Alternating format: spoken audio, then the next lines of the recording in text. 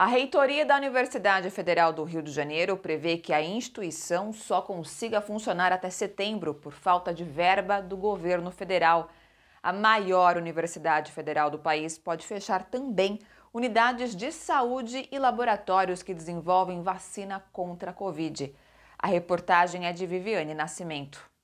O assunto causou indignação nas redes sociais nos últimos dias. A maior universidade do país, referência em pesquisa, que figura ano após ano entre as melhores do mundo, sob o risco de fechar as portas nos próximos meses. Nós não temos dinheiro para pagar os nossos técnicos terceirizados, para pagar luz, para pagar água e para continuar investindo na pesquisa, que hoje é uma das coisas que garante a nossa sobrevivência frente ao coronavírus. O orçamento da universidade, que chegou a ser de 773 milhões de reais em 2012 no governo Dilma, foi reduzido em 2021 para apenas 299 milhões de reais.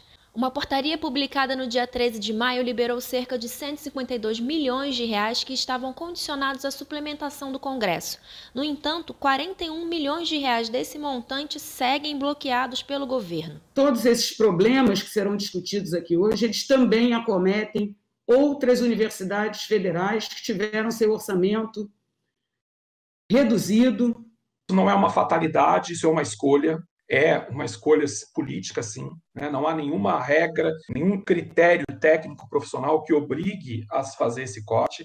O que está em jogo aqui é uma escolha de alocação de recursos. Né? O governo escolheu emendas, escolheu outros gastos em detrimento da, da educação. Entre os gastos comprometidos estão as medidas de combate à pandemia, como testagem, atendimento hospitalar e pesquisas para uma vacina nacional contra a Covid-19. Como manter leitos abertos? Como manter laboratórios funcionando? Como realizar o sonho da vacina brasileira sem que nós consigamos pagar a nossa conta de luz, a nossa conta de água, os contratos de limpeza e segurança dos nossos prédios.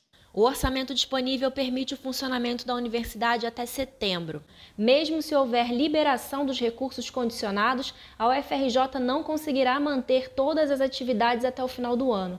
A reitoria e o corpo de funcionários convocam a sociedade a defender a universidade, cobrando recomposição orçamentária e novos aportes se pelo menos tivermos orçamento recomposto aos patamares de 2020, poderemos tentar terminar o ano com as atividades que são para além da formação de estudantes da graduação e na pós-graduação, são atividades extra, atividades que nós passamos a exercer devido à pandemia pelo coronavírus. A UFRJ ela sempre resistiu aos ataques dos governos neoliberais dos anos 90, né? E não será dessa vez que nós vamos desistir. Nós temos a consciência de que a, é, da nossa importância para a construção de uma sociedade mais democrática e mais justa socialmente. Por isso, vamos continuar seguindo na luta e na resistência. Gente, bora fortalecer a TVT? É só clicar em inscrever-se e depois clicar no sininho. Pronto! Assim que pintar notícia nova, você fica sabendo no ato.